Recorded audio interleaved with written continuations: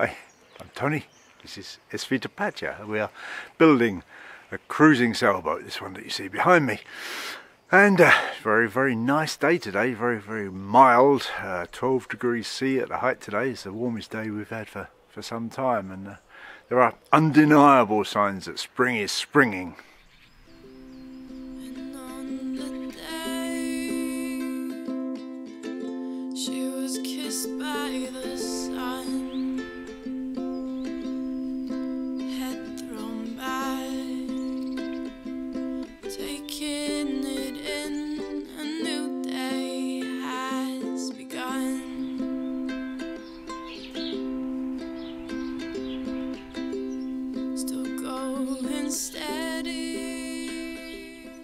Been a bit of a funny old week though. Um, some of the things that I've done, I've been as busy, I've worked as much as ever with the restriction that, that my hand, you know, is still slowing me down a bit, but I've, I've worked as much as ever and, and yet I've got very little that look any good on a video to show you.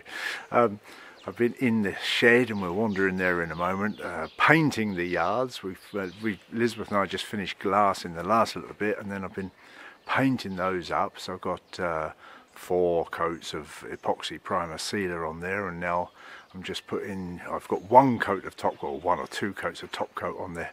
I've just got one last coat to go. I'll give them a quick sand and then one last coat of, of two-part polyurethane top coat to go on there. So that's coming on very well. And the other main thing I've been doing is, is in the boat, working in the heads area. A few bits needed finishing off in there and it's nearly done and I'll show you that and I say we'll have a look so let's have a wander into the shed and start in there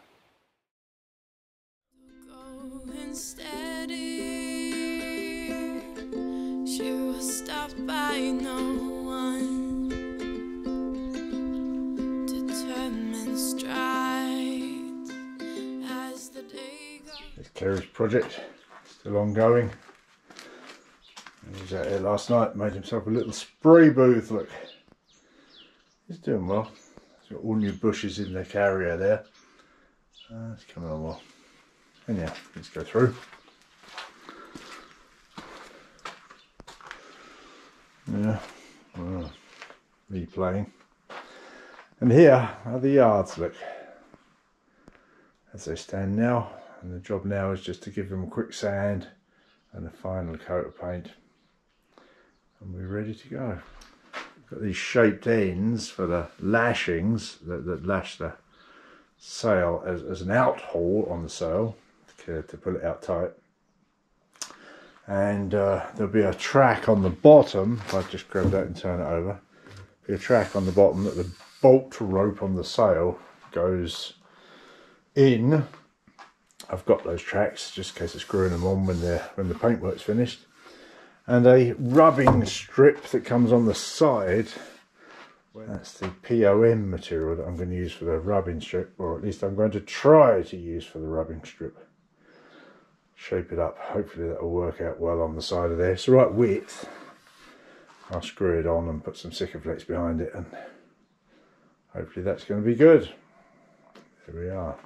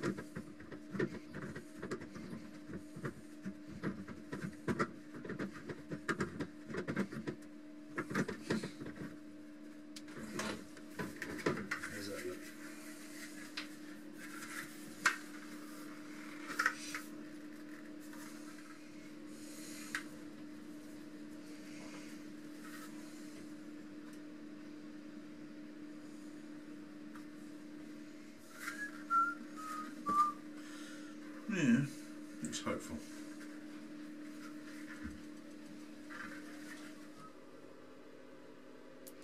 So masked it up and now put some Sikaflex around there and stick it in there.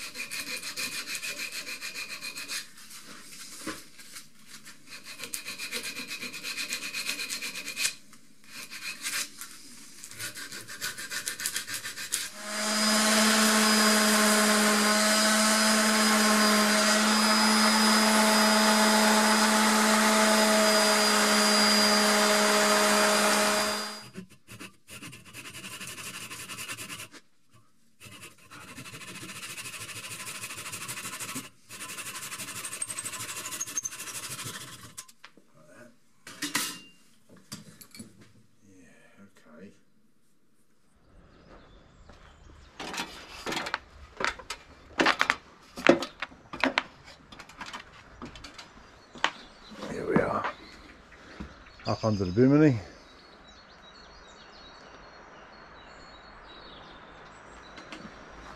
Yeah, needs a good clean up.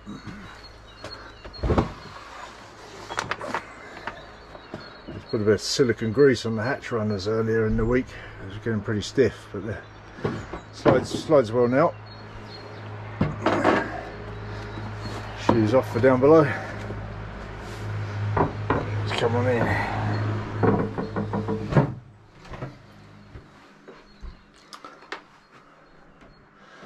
Mess.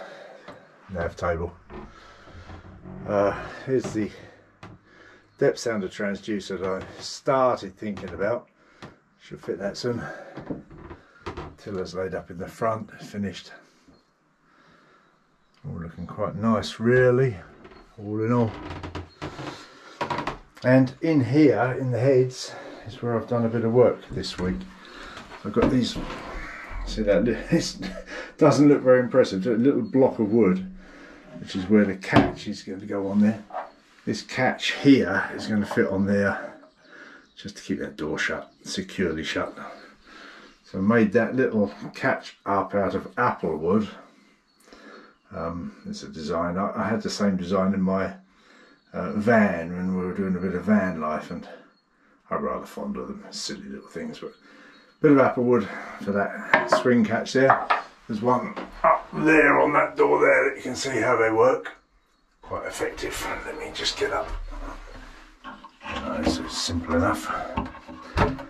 It's on magnet catches to keep the door shut when you're you know not at sea but they swing down just to secure things when you're at sea. Well you know we fitted the sink and that's all in. The drain connection I've Sikaflexed in. And down below, I've hooked up from the bottom of the sink, obviously, down to the seacock, and that's gone well enough.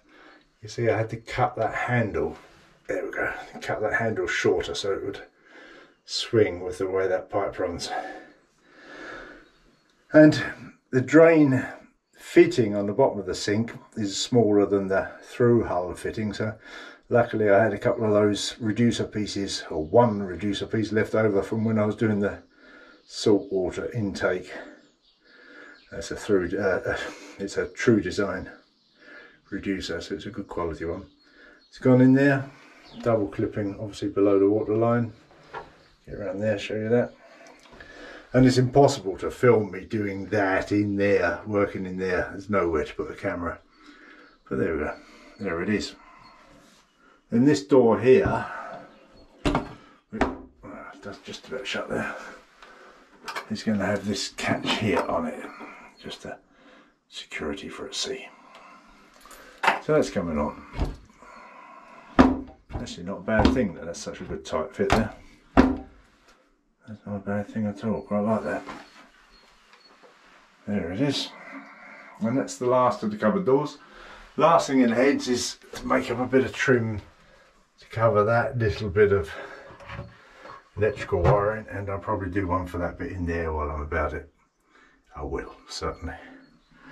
And that is then the head's completely done. He says, except I've just seen laid in the cupboard here is this is the wiring that's going to go to the solar panels and that plug that's laid next to it is going to go up on the on the underside of the deck there with the through the deck with the wiring from the solar panels down to the controllers. So that still going. But other than that the heads are completely finished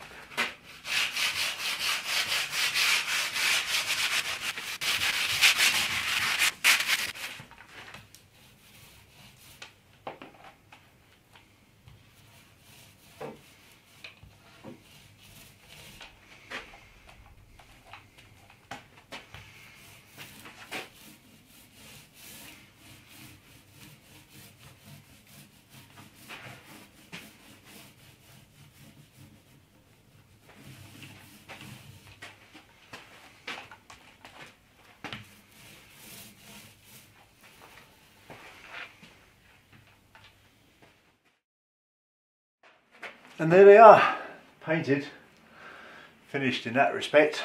I've got to get the tracks out that go underneath that I talked about, get them screwed on. I've got the bits of POM acetal to go on the side, the rubbing pieces. And I've got two stainless steel fittings to make up. They come on here at an angle that the halyard's attached to, that they hang from.